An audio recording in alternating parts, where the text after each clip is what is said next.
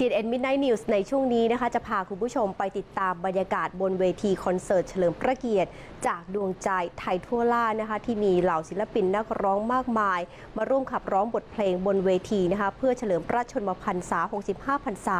สมเด็จพระเจ้าอยู่หัวมหาวชิราลงกรณบดินทรเทพยวรางกูล ให้คุณผู้ชมไปชมบรรยากาศกันก่อนเลยค่ะ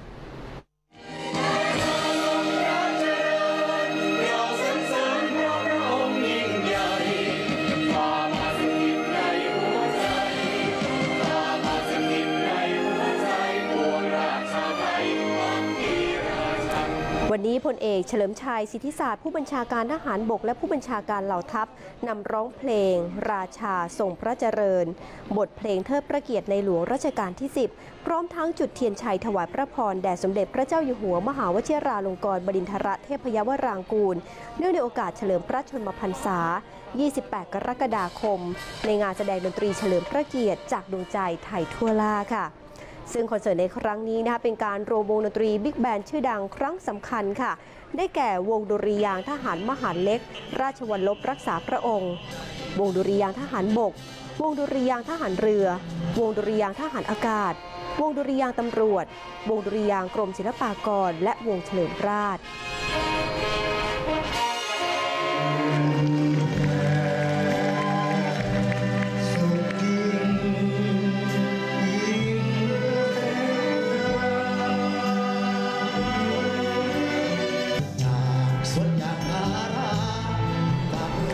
นอกจากนี้ค่ะยังเป็นการรวมตัวกันของเหล่าศิลปินนักร้องนักแสดงแล้วก็ทุกภาคส่วนนะคะนำทีมโดยศิลปินแห่งชาติ คุณชรินทร์ นันทนาครแล้วก็อีกหลายคนเลยค่ะ ไม่ว่าจะเป็นทูน หิรัญทรัพย์ อรวีสัจจานนท์จินตหรา พูนลาภ บ่าววีอาร์สยาม กิตเดอะวอยซ์ อ๊อด คีรีบูนได้ร่วมกันกับนักร้องจากกรมประชาสัมพันธ์แล้วก็นักร้องประสานเสียงจากดุริยางค์สี่เหล่าทัพ ร่วมกันขับกล่อมบทเพลงเฉลิมพระเกียรติเพื่อเป็นการแสดงออกถึงความร่วมมือร่วมใจ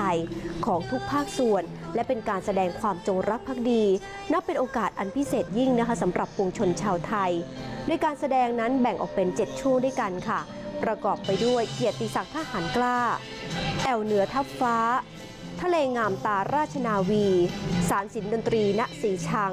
เสียงแคนดังผู้พิทักษ์บรรเลง เฉลิมราชผูกสัมพันธ์เพลง รำวงสวยเด่นด้วยสามัคคี และจากดวงใจไทยทั่วล่า ถวายพระพรด้วยรักและพักดีค่ะ